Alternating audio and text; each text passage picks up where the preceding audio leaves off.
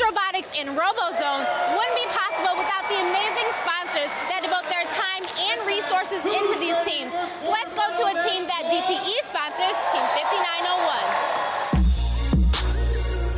our team is 5901 Cougar Pack out of Voyageur College Prep High School in Detroit, Michigan. We're able to come to these competitions, get our transportation here, all of our materials, all of our awesome swag that we wear, and all of it's made possible from our sponsorship like DTE Energy Foundation. The DTE Energy Foundation awarded $15 million in grants in 2015 alone. DTE Energy has a um, women in engineering program, and they were looking for women to come and help mentor some of these teams. So DTE allowed me to have this opportunity. I've continued mentoring just because watching these kids learn and grow is just the most rewarding thing I've ever done in my life, to be honest. My first robotics experience has been great. It's amazing competing with different teams. It's a lot of diversity, a lot of personalities, different ideas, and it's amazing. So these students come in, and a lot of them don't know the first thing about engineering. They know they like math, they know they like science, and they come in and we get them exposed to not only engineering and design, but just everything it takes to make something from nothing and they're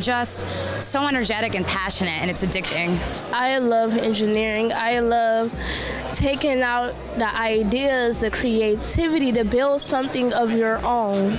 Because of FIRST Robotics, I have wanted to become an engineer. Again, I can't thank the DTE Energy Foundation enough for what they do for my team personally, but also the, the center that we work at and the other teams that they sponsor, and go Cougar Pack.